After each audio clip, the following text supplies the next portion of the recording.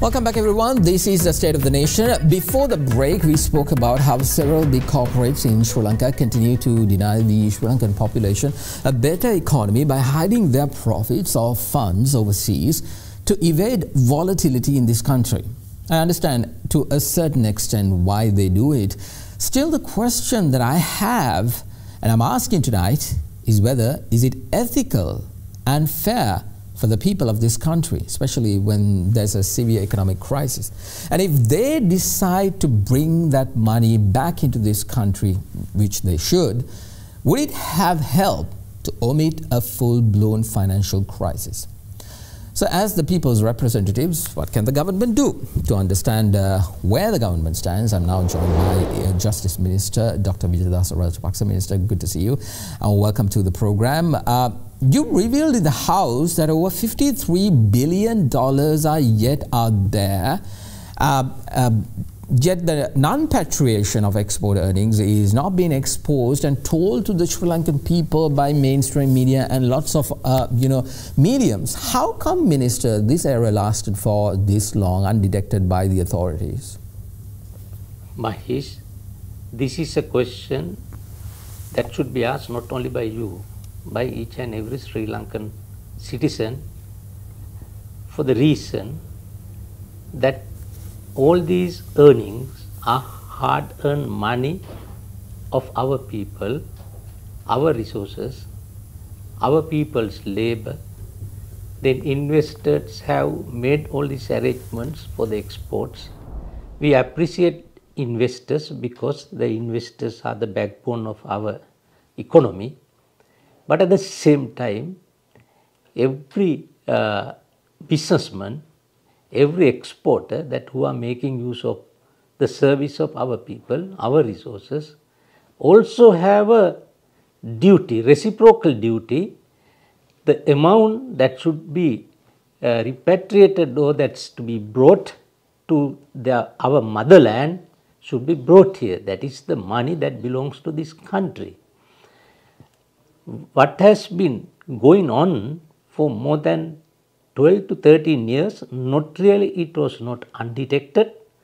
In fact, that there is a dereliction of duty uh, by the central bank authorities not only to monitor, to implement the laws of this country. Indeed, uh, Minister, what laws are you proposing to uh, uh to basically curb the non-patriation of earnings.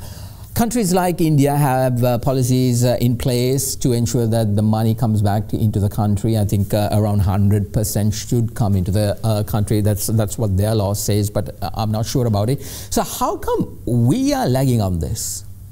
In fact, that our Exchange Control Act uh, was working quite nicely. It was not a lacuna in law it was a question of implementation. The governors successively since 2005 have failed to perform their duty. In addition to that, there were too many interference by the politicians. The central bank is an independent institution.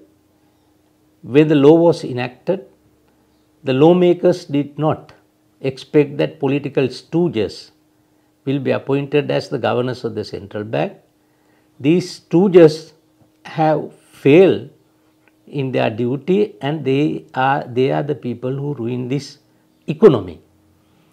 Uh, in addition to that, in 2017, there was a new law replaced uh, by the, uh, to the, instead of the old uh, Exchange Control Act, that was the law introduced Foreign Exchange Act where the proper control part was missing. That also helped to increase that large number of uh, large amount of money which is due to us being retained in other countries.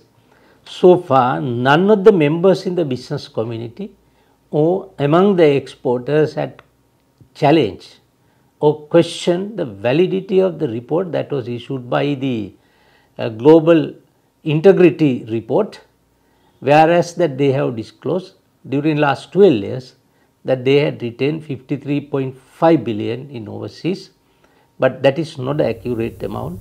The accurate amount is much more that may be the uh, amount that they could have traced.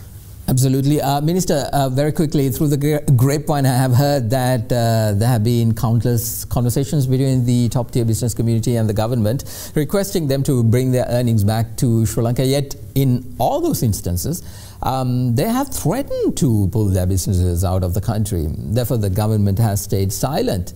Will that be the same case in the future under this current administration?